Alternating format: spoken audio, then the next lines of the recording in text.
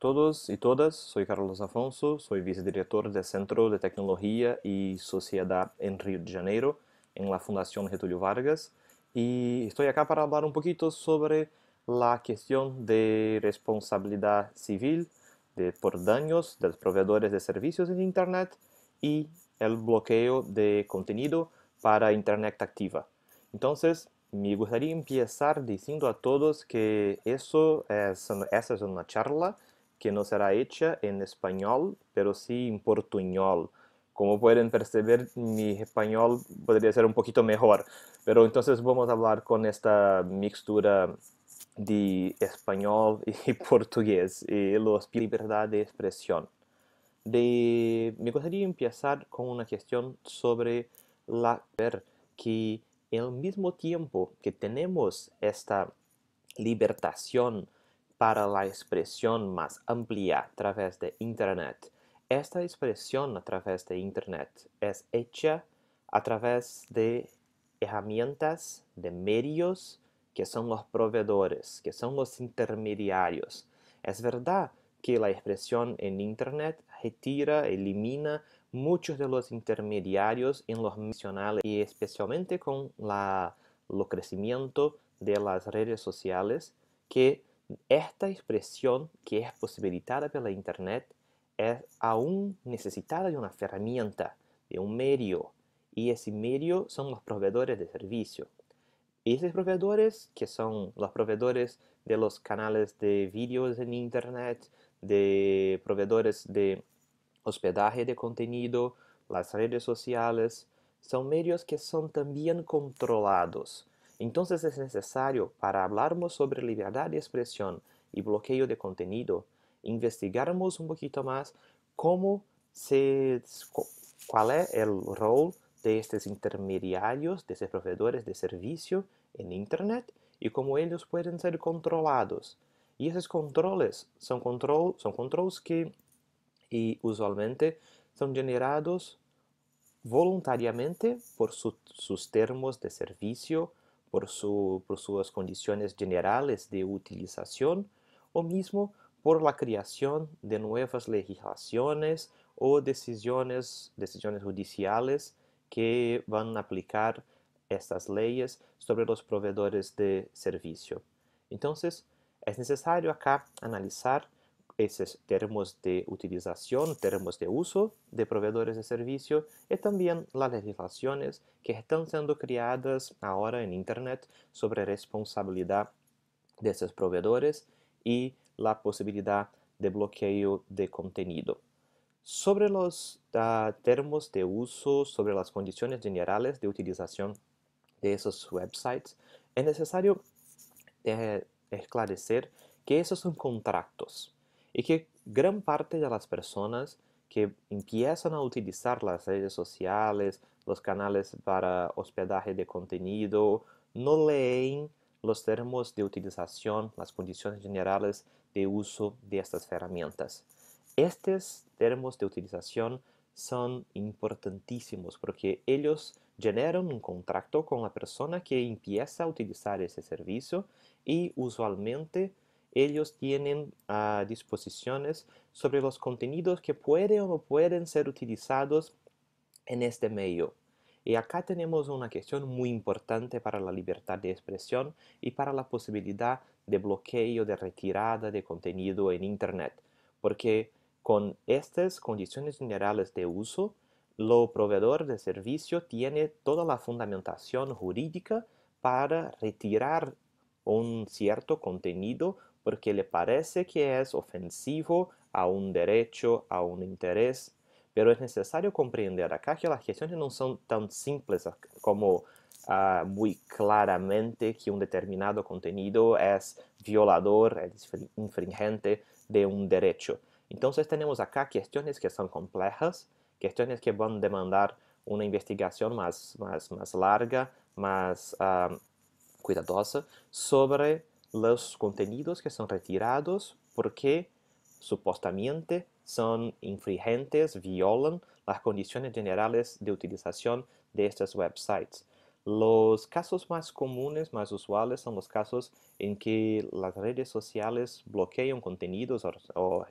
retiran contenidos de su, de, su, de su medio porque son obscenos, porque son infringentes de otros derechos como derechos a privacidad, como derecho a imagen y como derecho a honor de otras personas. Entonces, esta es una cuestión sobre los términos de las condiciones generales de uso de las redes sociales y de los proveedores de servicio como un todo.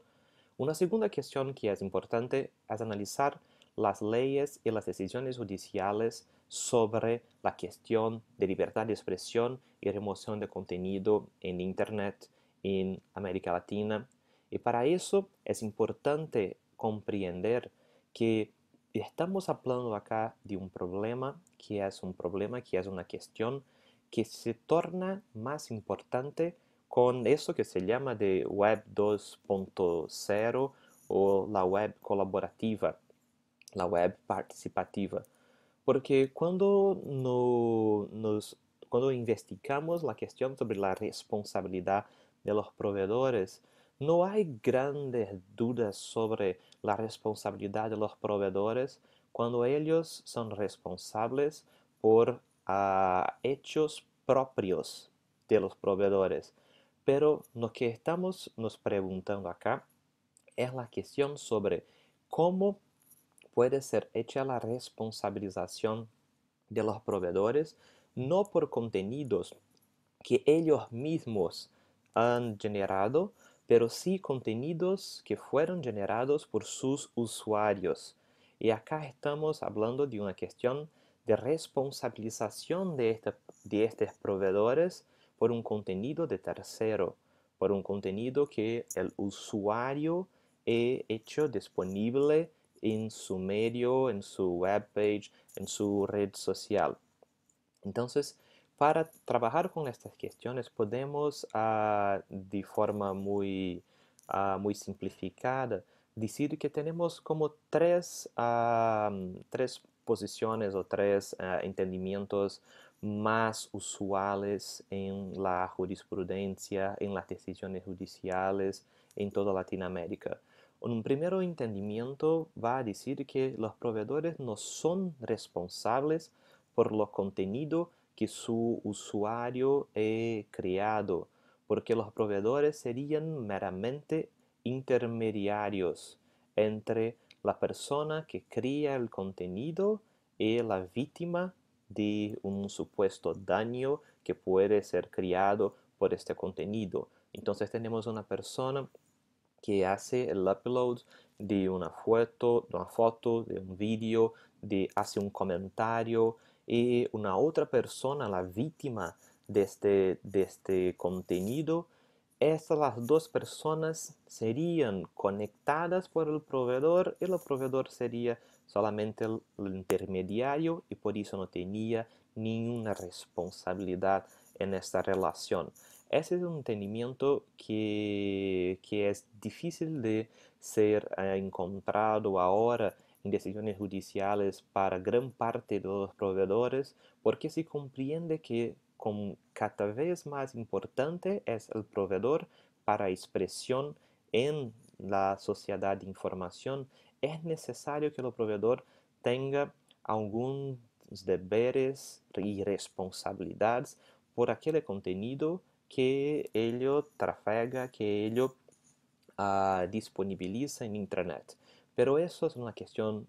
complicada, porque si empezamos a crear responsabilidad para los proveedores, como si fueran los editores, como si fueran las personas que han creado el contenido, tenemos acá un impacto muy serio en libertad de expresión y hacer acá una ponderación entre una situación en que tenemos la libertad de expresión garantizada por un lado y por otro mecanismos que generen la posibilidad de que daños sean reparados, evitados, disminuidos, es la cuestión que nos preocupa con el bloqueo de contenido. Entonces, los dos otros entendimientos que son comunes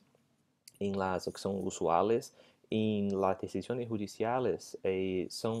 lo, lo primero que, o lo segundo, disculpa, que afirma que los proveedores son responsables por aquello, por, por el conteúdo que ellos disponibilizan en Internet de forma objetiva.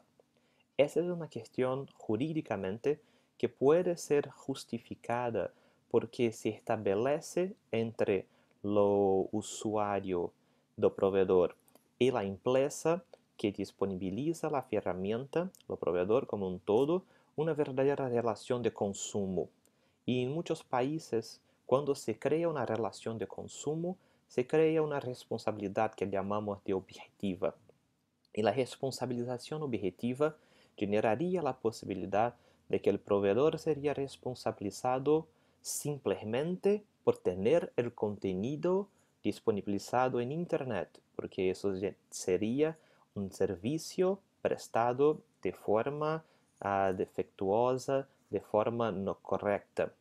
Ese es un entendimiento también complicado porque tenemos que acá hacer una ponderación. Si el proveedor es responsable simplemente porque ha creado las condiciones para que un determinado contenido sea divulgado, sea publicado en Internet,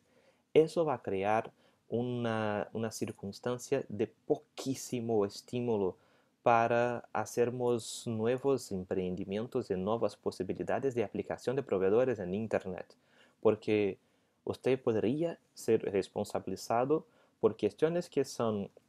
publicadas en Internet por sus usuarios, usted no, no tiene un técnico efectivo sobre este contenido y generaría por eso una responsabilización. Una otra forma de generar esta responsabilidad objetiva, que podríamos decir casi automática para el proveedor, es el concepto de riesgo. Y muchas decisiones judiciales están utilizando el concepto de riesgo de Internet como una actividad de riesgo. Eh, eso también me parece que es una cuestión muy, muy, muy compleja porque si se crea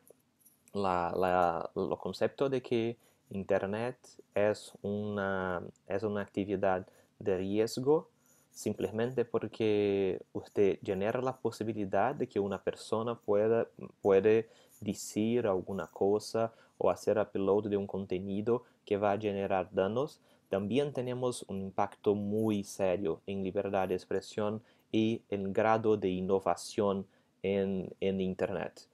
Una tercera, uh, un tercer entendimiento es un entendimiento por la responsabilidad que llamamos subjetiva. Y es subjetiva porque para esa responsabilidad existe la necesidad de que el proveedor tenga una conducta, una actividad culposa y por la culpa del proveedor se crea la responsabilidad. Y acá la forma más usual de hacer esta responsabilidad por culpa es la cuestión de la notificación. Y eso sea tal vez la cuestión más importante sobre bloqueo de contenido. Porque para este entendimiento, los proveedores solamente serían responsables por un contenido que ellos han divulgado en Internet si ellos tienen una actividad, una conducta culposa. Y la culpa sería generada acá por el recibimiento de una notificación, de una información por parte de la víctima de que existe un contenido, un, contenu un, un, un uh, danoso, infringente de su derecho, que está siendo divulgado, publicizado por sus webpages, en las redes sociales, en los canales de vídeo, en las páginas de hospedaje.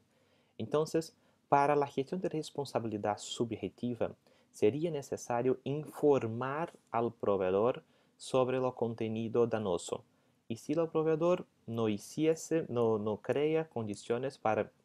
remoción de este contenido, el proveedor sería responsabilizado. Bueno, acá tenemos una cuestión más importante,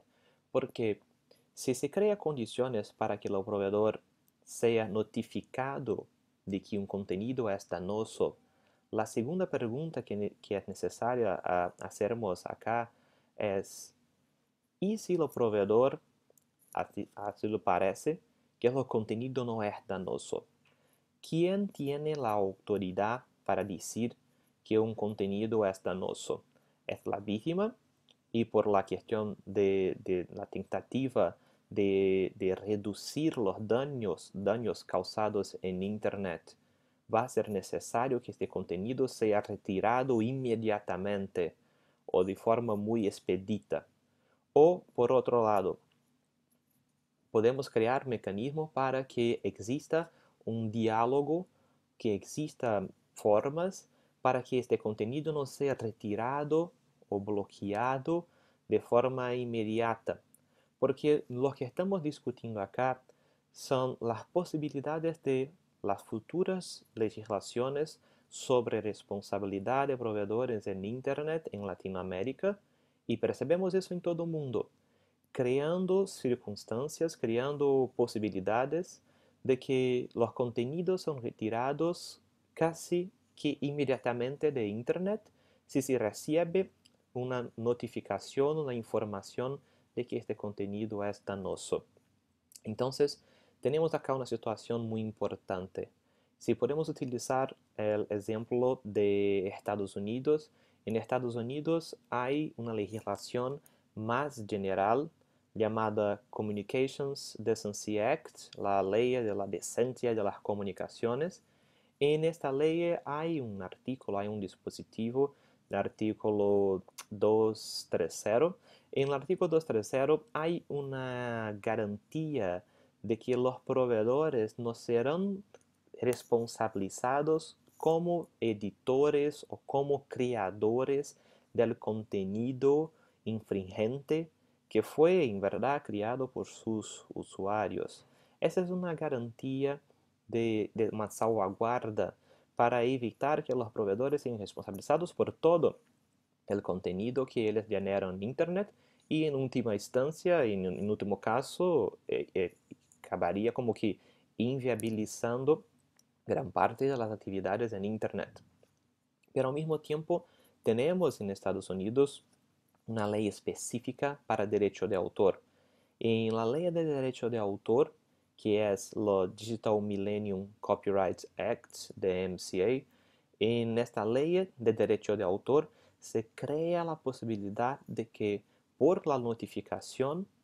el contenido sea retirado de forma, como se dice en la ley, expedita, de forma rápida, para evitar que daños continúen a ser generados en, Internet. Este mecanismo conocido como Notice and Takedown, notificar y retirar, es un mecanismo que parece atender los intereses de las empresas de contenido que pueden identificar contenidos que son infringentes de sus derechos de autor y con eso, con una simple notificación, tendría el proveedor el deber